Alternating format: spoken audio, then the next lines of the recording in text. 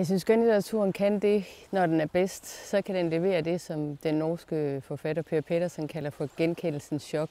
Det vil sige, at man pludselig kan genkende sig selv i det, man læser.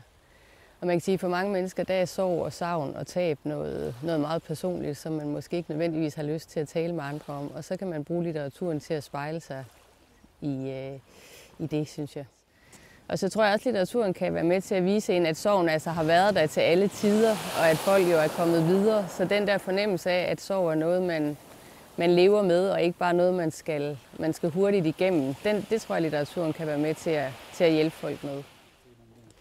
Der er rigtig mange forskellige sorger i min roman, kan man sige. Øh, Anna, som er min hovedperson, hun står midt i livet øh, og oplever, at hendes forældre bliver syge og dør samtidig med, at hendes børn bliver store og vokser til og jo på en eller anden måde mentalt set forlader hende. Øh, og samtidig så sker der det i forbindelse med, at hendes forældre dør, at hun, øh, hun oplever en, øh, en distance fra de søskende, som hun egentlig havde følt sig ret tæt forbundet ved.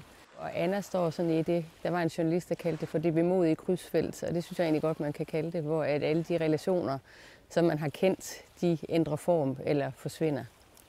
Jeg må ikke vi så småt er ved at være der, siger præsten. Jeg kan høre, at de begge to, både jeres far og jeres mor, var mennesker, der satte sig spor. Og det er vigtigt at dele. Også selvom man ikke er enig, siger han. Det må gerne gøre ondt. Og del smerte er halv smerte, som man siger. Han klapper sin sorte notesbog sammen. Han ser tilfreds ud og rejser sig op som et tegn til, at vi er færdige. Men jeg tror ikke, han forstår, at det er omvendt. Jeg tror ikke, han forstår, at vi ikke kan dele smerten, selvom vi gerne vil, og at den vokser fordi vi prøver, men opdager, at vi ikke kan.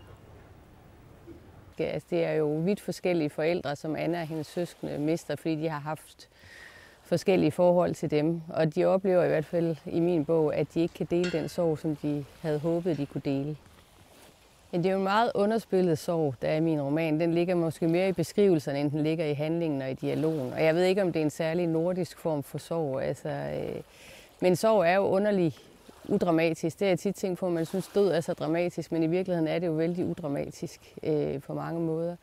Jeg tror, der er sådan en nordisk stoicisme, hvor vi har lært, jeg ved ikke, om vi er gode protestanter, vi har lært, at vi skal kunne udholde alt. Altså, vi lægger os ikke ned og flæber, vi, øh, vi får ordnet vores ting, imens vi, imens vi sørger.